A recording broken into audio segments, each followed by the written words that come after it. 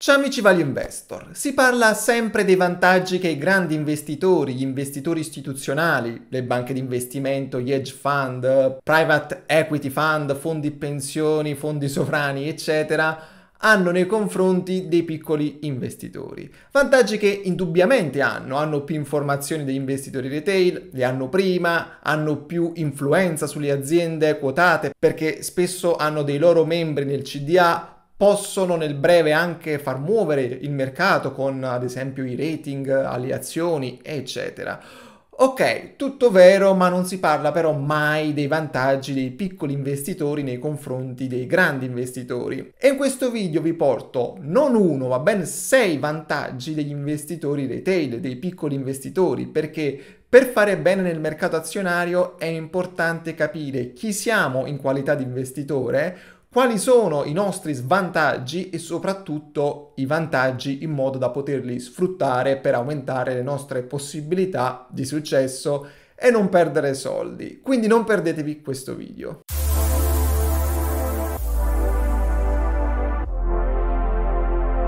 Primo vantaggio, e questo è il vantaggio più importante di tutti, e sapete qual è il bello? Che non solo è il vantaggio che fa la differenza, un vantaggio quasi sleale, oserei dire, del piccolo investitore nei confronti degli istituzionali, ma che ce l'hanno tutti i piccoli investitori, a prescindere dalle conoscenze, competenze, intelligenza, esperienza, eccetera. Ed è l'orizzonte temporale.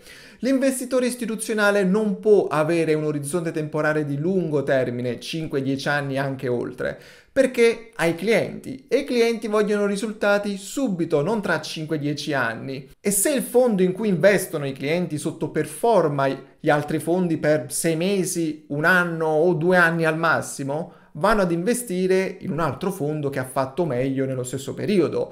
Questo significa quindi per il fondo perdere le fee dei clienti, che sono quello che dà da mangiare, perdere il lavoro per il fund manager ed è tutto un disastro. Quindi se ci sono ottime aziende ma con azioni a prezzi depressi su cui c'è tanta incertezza, cioè quella che può essere un'occasione d'oro per comprare, gli istituzionali non possono sfruttarla perché non sanno quanto durerà la negatività su queste azioni, non possono accumulare su queste aziende perché rischierebbero di sottoperformare nel breve cosa che invece l'investitore retail può fare, può accumulare per qualche mese o meglio ancora anno su ottime aziende ad ottimi prezzi, ma la maggior parte dei retail sappiamo che non lo fa, non usa questo suo vantaggio competitivo e vendono quando le azioni sono depresse o comprano quelle che invece sono in hype e quindi spesso sopravvalutate.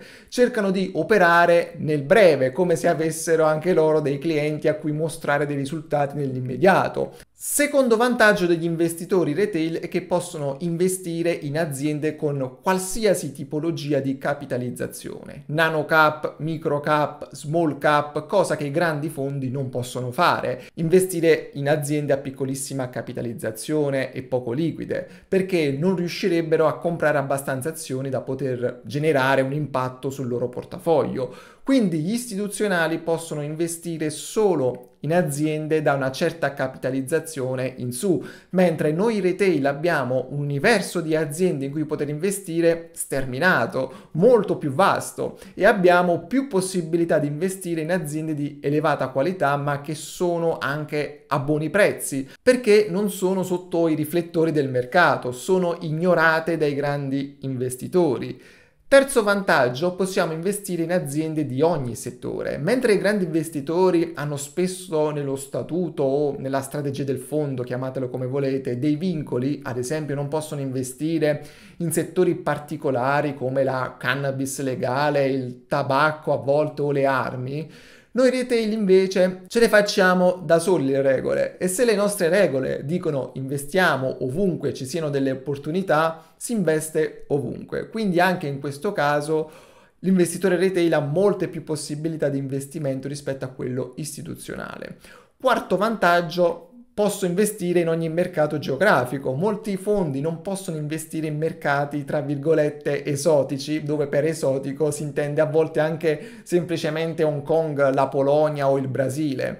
Ci sono addirittura fondi americani che possono investire solo negli Stati Uniti. Quindi pensate un po' a quanto il nostro universo di aziende a cui possiamo attingere sia molto più grande dei grandi investitori.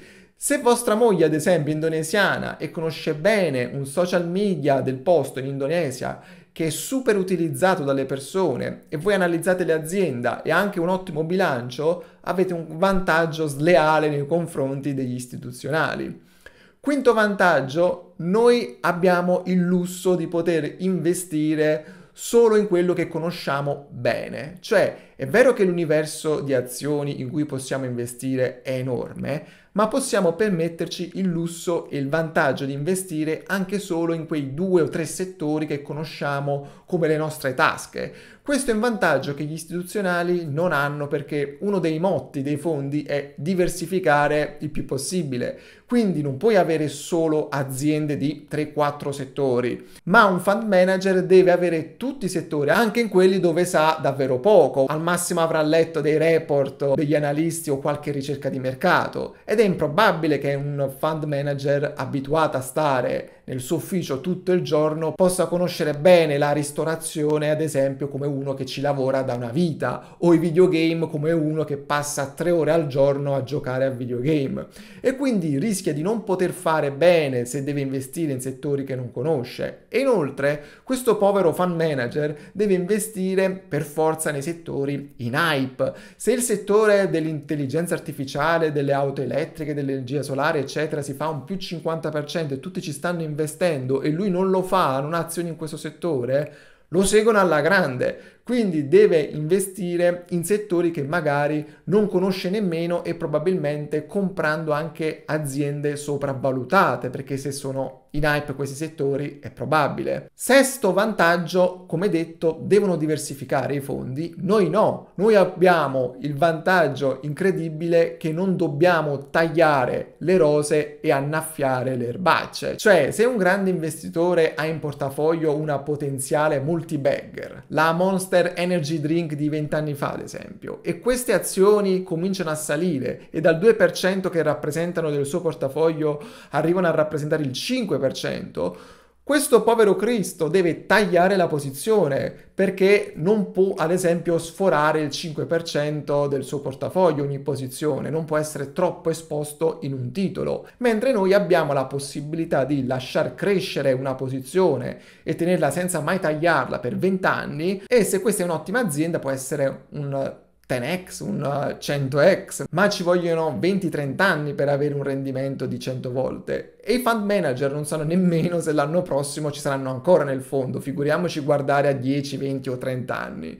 Cioè abbiamo dei vantaggi straordinari nei confronti degli istituzionali, quasi sleali, dovrebbero impedirci quasi a noi piccoli investitori di poter competere con loro, ma non lo fanno e anzi noi siamo la loro carne da macello, il loro strumento per fare soldi, perché non sfruttiamo i nostri vantaggi competitivi e facciamo di peggio, giochiamo secondo le loro regole, giochiamo sul breve, cerchiamo di speculare sulle notizie, di beccare l'azione ai minimi, beccare l'azione che farà meglio nei prossimi tre mesi, speculare con le opzioni, eccetera.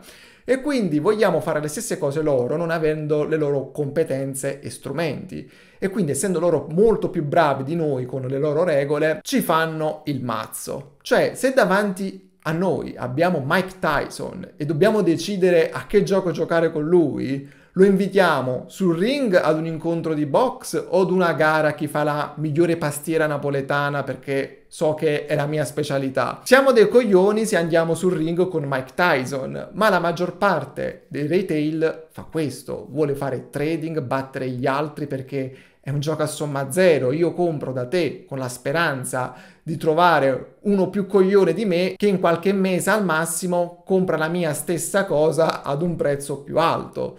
Quando potrei investire in un'ottima azienda per 20 anni, un'azienda che crea ricchezza vendendo prodotti e servizi, che aumenta quindi di valore e non devo inculare nessuno per guadagnarci, ci possiamo guadagnare tutti semplicemente dalla ricchezza che questa azienda ha generato nel corso dei decenni.